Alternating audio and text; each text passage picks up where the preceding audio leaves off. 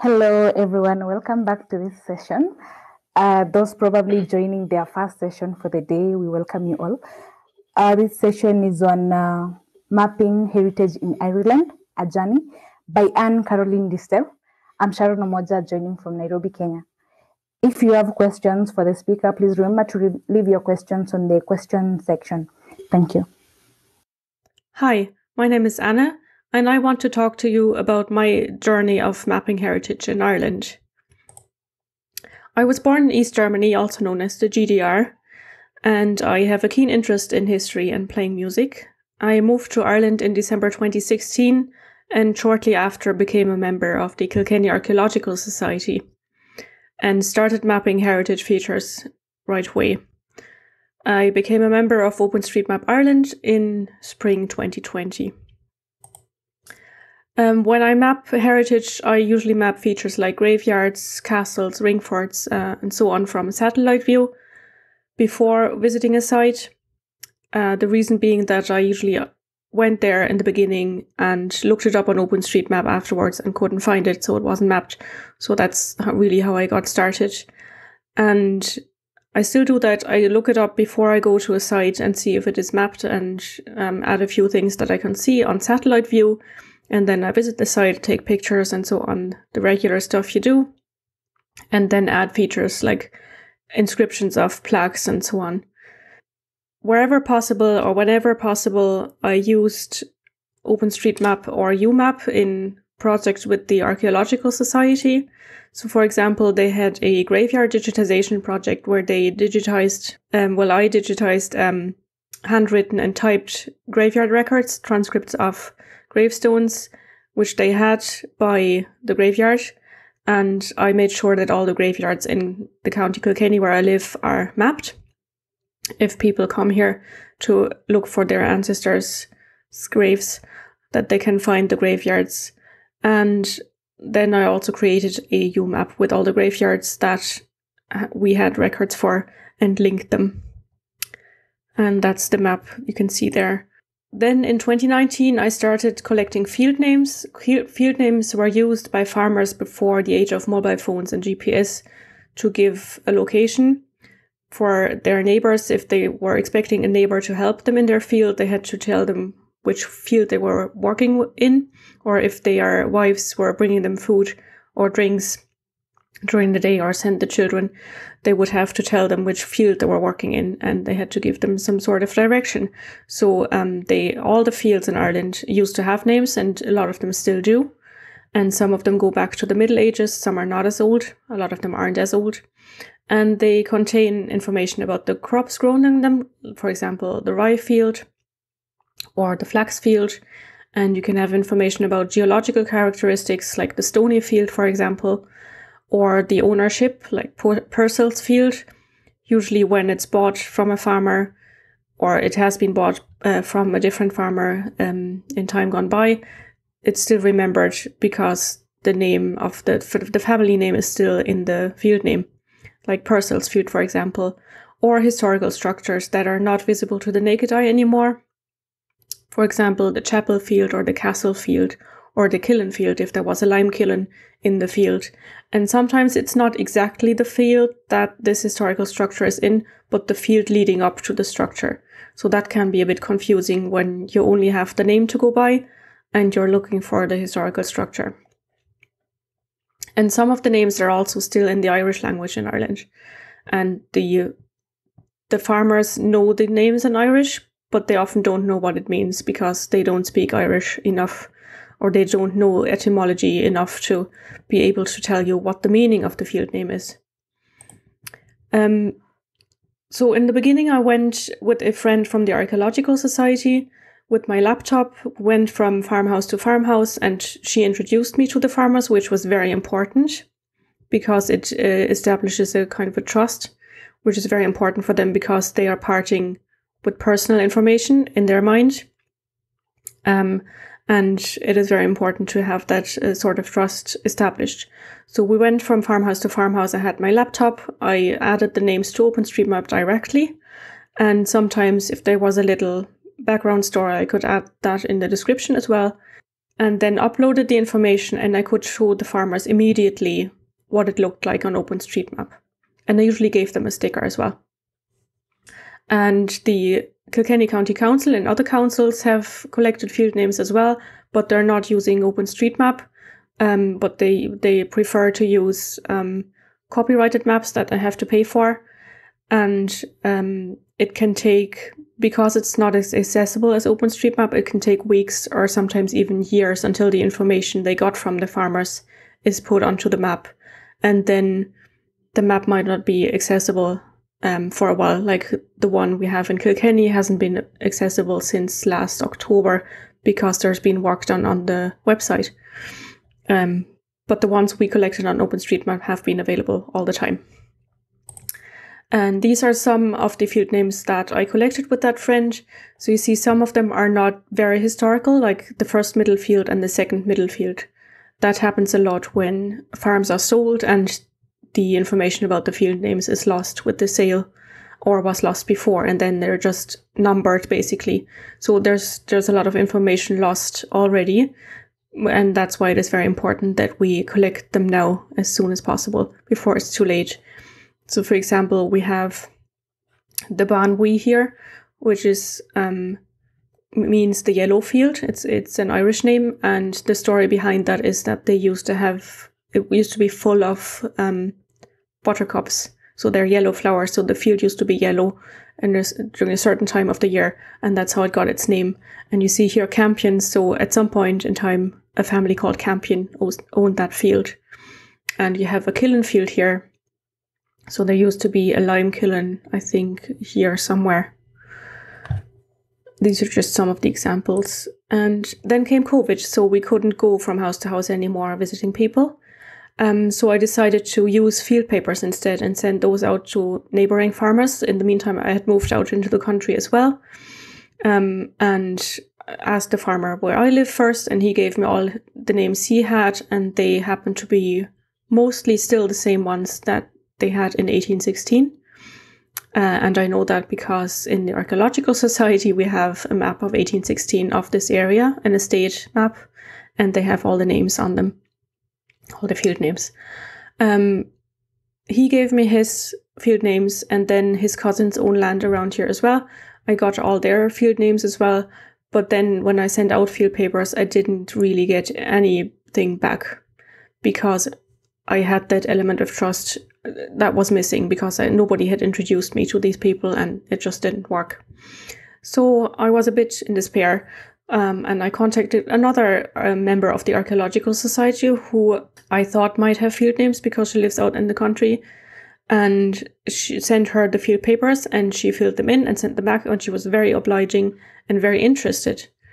And even before that, I had started um, making videos on YouTube about how to collect field names using field papers because I was trying to reach out to historical societies. And it was lockdown and I thought this is the perfect time to do this. And I told her about my videos and she watched them and with the help of my videos she taught herself how to map and she's been collecting field names ever since and she's become very interested um, in the whole affair and she's using field papers she, she's learned how to use field papers and print them out and has given them to her neighbors and acquaintances and she has collected a lot of field names in her area. And these are some of the ones that she has collected. And you see, for example, here, the castle field. So there was a castle here at some point, but it's not mapped because nobody really knows where it is. The kiln field up here, and I found out on an older map that the lime kiln was there, so I have added that. And then you have some Irish names which I won't try to pronounce because I'm probably going to butcher them. And a kennel field here, so that's um, indicator that there was a manor house here, and it's Kilfane. So the manor house was Kilfane House. I'm not quite sure where it is now. The school field here, because I think this used to be the school, and um, the field behind it was the school field.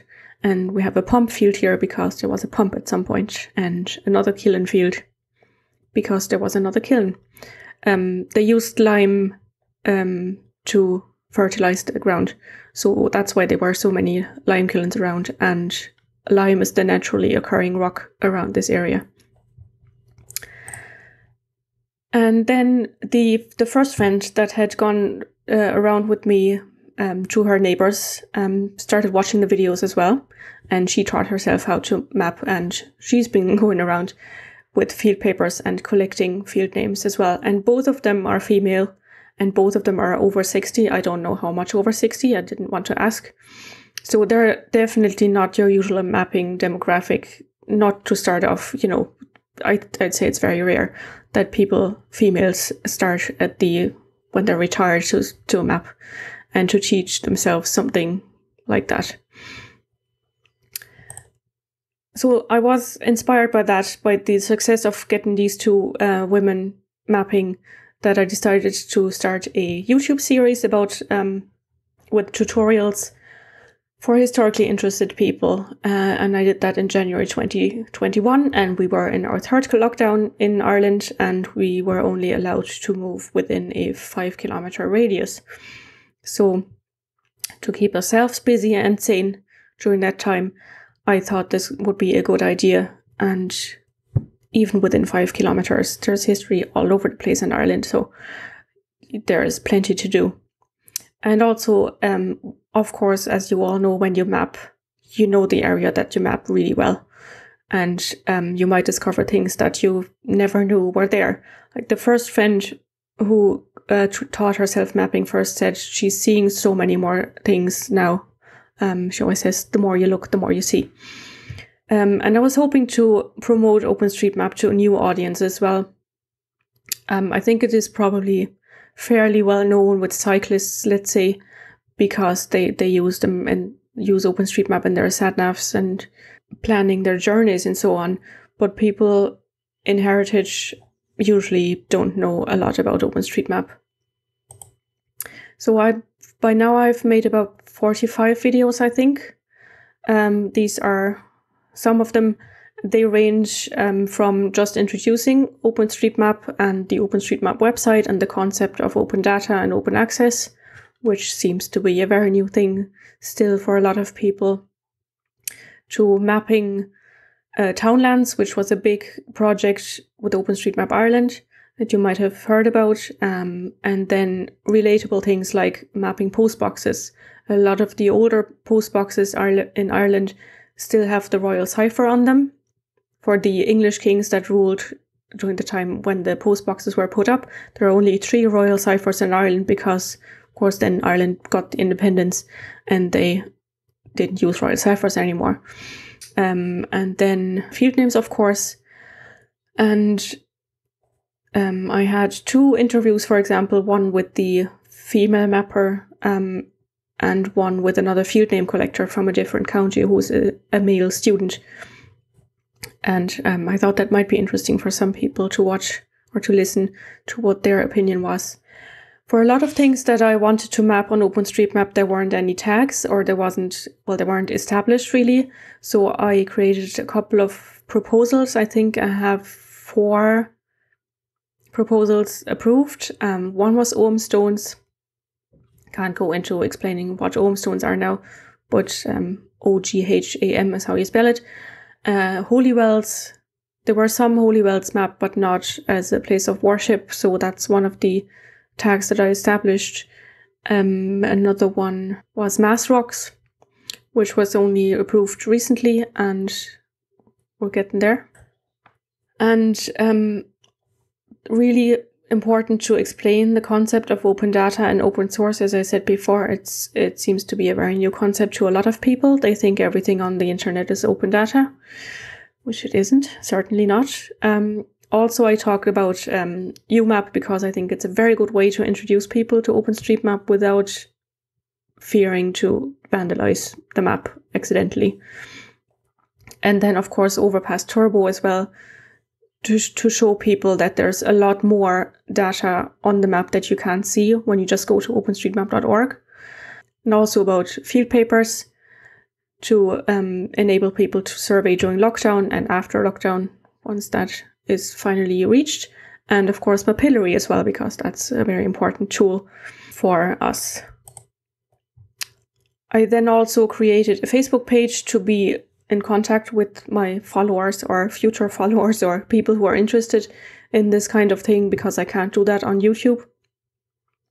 And because not everybody has a Gmail account and can subscribe to my channel.